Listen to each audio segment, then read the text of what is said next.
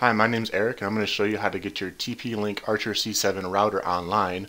Once you've got it out of the box and plugged in and everything, I'm going to assume that by the time you get to this video, all you did was take your router out of the box, plug it into the modem, plug it into the wall, uh, you take your little ethernet cable, plug it into the blue WAN port of your router, and plug the other end into your modem, and of course plug it into the wall, power it on, give it about a minute to turn on, let all the green lights come on, and once a minute is passes, once a minute passes by, you can go ahead and reset your modem by unplugging it from the power, wait 30 seconds, and plug it back in, and from that point, you're ready to get started with setting up your internet and everything you need to get online, and let's go ahead and get right into that.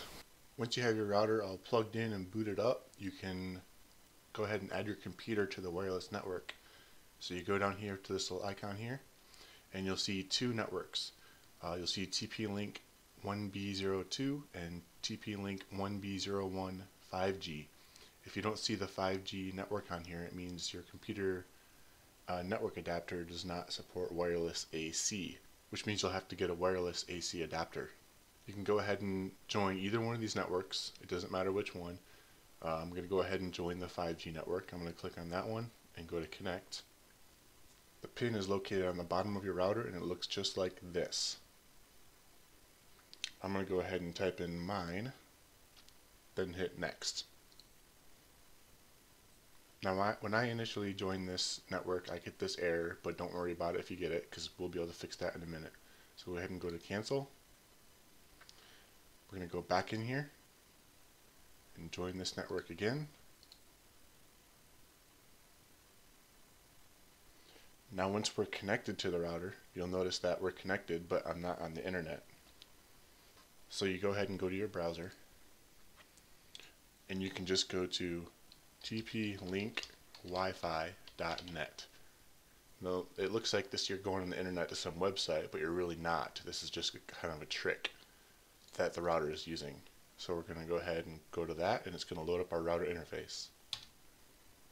Once you get this login screen, the default username is admin, and the password is the exact same thing, admin all lowercase.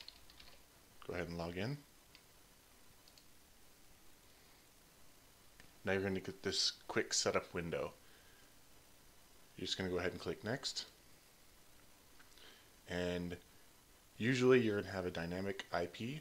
And if you don't have a dynamic IP, you probably know about it and you know to and you know what other option you need to select. So I'm going to go ahead and click dynamic IP. If you want, you can click auto detect and it'll help you through the process. But for most people, including myself, we're going to go with dynamic IP and hit next.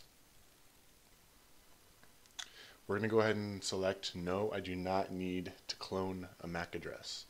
Now I actually will need to do this, but for the purposes of simplifying this tutorial, we're just going to go ahead and click no and we're going to fix this later uh, depending on your situation. I know I will need to clone my MAC address but right now we're going to hit no and go to next. You can choose whichever option you want here. You can either have two networks or you can have one network depending on which band you want to use. I'm going to go ahead and use both networks and go to next. Here's where you can rename your network and set your password. Um, you'll notice that the password right here is the one that is on the bottom of your router. That's the temporary one that's made by the manufacturer. You can leave that or you can change it. Um, I recommend changing it, but for now, I'm just going to leave it how it is. And I'm going to hit next. And this is for your 5G network. You can make a separate uh, network name or SID and a separate password for this one. Again, I'll change these later. For right now, I'm just going to leave them the same. And I'm going to hit next. It says, congratulations, basic internet and wireless settings are finished. Now notice, I'm still not connected to the internet because my ISP registered one MAC address that I'm allowed to use. So I'm going to go ahead and fool the ISP into thinking that this is the old router. You can either do it this way by MAC address cloning or you can just call up your ISP and say, hey, I got a new router, and they'll help you out. I'm just going to do it this way because it's faster. This is how you do a MAC address clone. you go to network over here, you go to MAC clone, and you want to change this WAN MAC address to the MAC address of your old router. Now for me, this MAC address is printed on the bottom of my router and it looks like this. If your old router doesn't have your MAC address printed on the bottom of it clearly, you can probably get away with just calling your ISP and telling them you got a new router and then you don't have to do the MAC address clone part. You can just skip this whole step. However, if your address is, if your MAC address is printed on the bottom of your router like mine is, which happens to be this, I'm going to go ahead and save this. And once it saves, I can go over to WAN and now it is able to pull an IP address. So now I can go ahead and visit a website if I want. And there we have it. Our router is now basically set up and we are ready to get on the internet. Hey, if you like that video and you like the way I explain things and you want to learn more, um, I plan on doing more videos explaining all the different features of the Archer C7 router as the new router I just got. Um, so I'm going to be explaining all the kinds of settings and stuff in there. I'm also going to going to be explaining um, all kinds of networking things about home networking. I have a lot to share um, just about wireless stuff and all kinds of stuff. It's all fun. It's all interesting to me.